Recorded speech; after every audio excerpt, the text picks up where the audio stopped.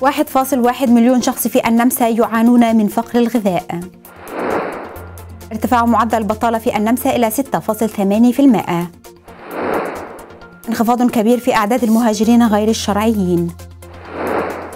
اختفاء 47 طفلا مهاجرا يوميا في أوروبا بين النمسا وإيطاليا. اعتقال عصابة مراهقين في فيينا قاموا ب 350 سرقة. وتحذير من ارتفاع أسعار الإيجارات في فيينا.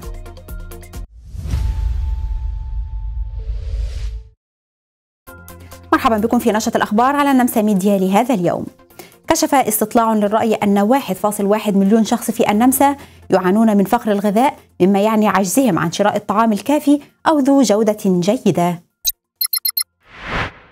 وبين الاستطلاع الذي أجري على 2000 شخص أن 55% قللوا من كمية أو نوعية طعامهم فيما يوجد 420 ألف يعانون من فقر الغذاء الحاد ويضطرون لتخطي وجباتهم وعبر 13% من أولياء الأمور عن قلقهم من نقص طعام أطفالهم. وبين أيضا أن الشباب والمرضى وذوي التعليم المنخفض والعاطلين عن العمل هم الأكثر عرضة للخطر. ارتفع عدد العاطلين عن العمل في النمسا بنسبة 11.1% في نهاية أبريل وبلغ مجموع الباحثين عن عمل ما يصل إلى 368 ألف شخص ما يمثل زيادة 36 ألف عن العام الماضي. وارتفع معدل البطالة إلى 6.8% بزيادة 6 من عشرة نقطة مئوية عن العام الماضي وشهد جميع الولايات ارتفاعا في معدلات البطالة ويرجع وزير العمل مارتن كوخر ذلك إلى الظروف الاقتصادية الصعبة كسبب لهذا الارتفاع مع توقعات بتحسن تدريجي ومع ذلك تشير أرقام تراجع الوظائف الشاغرة بنسبة 18% إلى أن الانتعاش لا يزال بعيد المنال. أثنى وزير الداخلية النمساوي جيرهارد كارنا على الانخفاض الكبير في أعداد المهاجرين غير الشرعيين وذلك بفضل التدابير المكثفة والتعاون مع المجر.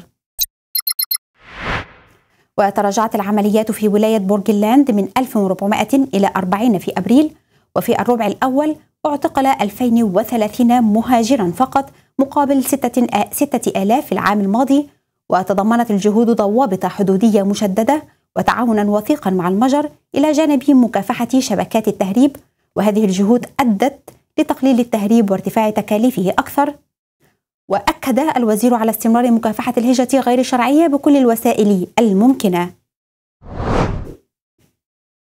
كشفت مجموعة لوست إن يوروب في بحث عن اختفاء حوالي 47 طفلا يوميا في أوروبا من سوريا وأفغانستان حيث اختفى أكثر من 50 ألف طفل مهاجر بعد وصولهم خلال السنوات الثلاث الماضية. وتم تسجيل هذه البيانات الصادمة في الفترة بين عامي 2021 ونهاية عام 2023 وتصدرت كلا من إيطاليا والنمسا القائمة وأشار متحدث باسم وزارة الداخلية النمساوية إلى أن التدفق الكبير لطلبات اللجوء من اللاجئين القصر غير المصحوبين بذويهم يمثل تحديات فيما يتعلق بالتمثيل القانوني والاستقبال.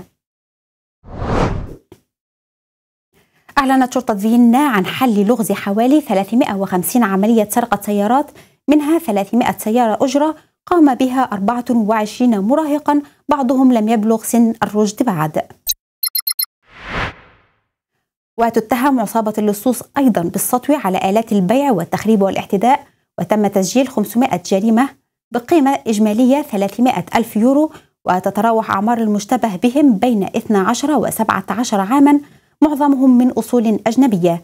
ينحدرون من سوريا وأفغانستان وشيشان وصربيا وسلوفاكيا وتونس كما أن من بينهم ثمانية نمساويين من خلفية مهاجرة.